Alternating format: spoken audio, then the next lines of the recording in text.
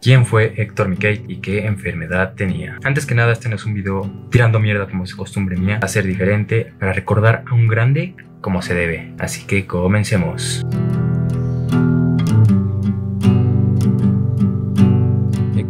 Era un youtuber mejor conocido como Juanito Sirena por salir así junto con su amigo Wherever Tomorrow. Básicamente era un youtuber y comediante muy grande de la plataforma. También cabe mencionar que fue actor de teatro. El día de ayer, lunes 17 de agosto, falleció lamentablemente. No se saben las causas exactas, pero les voy a mencionar lo que se sabe. En el video del tag 50 cosas sobre mí que subió hace aproximadamente un año, mencionó que tenía una enfermedad llamada escoliosis, que básicamente consiste en que desde el nacimiento, donde la columna vertebral básicamente está un poco torcida. No se sabe si se puede morir de eso, pero se sabe que se puede llegar a complicar a futuro les dejo el clip.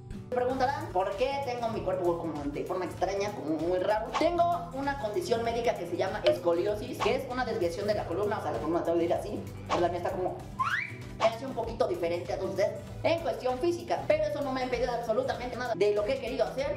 Me he divertido, he salido adelante. Me valen madre las críticas, amigos, porque yo sé lo que soy, yo sé lo que hago. Me siento muy feliz porque estoy logrando muchas cosas que güeyes con un cuerpo relativamente normal pues no se atreven a hacer. Así que échenle huevos, chavos, no pasa nada. Como mencionó Wherever Tomorrow en el video donde confirma su fallecimiento, dice que murió de una enfermedad que tenía desde nacimiento. Y eso sería todo. Y bueno, para terminar solo quiero mencionar que para todos aquellos que digan que oh, te estás colgando de la fama, que esto, que el otro, eh, no, simplemente se me hacía un personaje muy interesante que me hubiese gustado mencionar en algún momento y destacar, al menos no, no es una gran comunidad la mía, muchos no lo van a ver esto, pero con que más de uno lo vea pues está bien. Así que bye puñetas.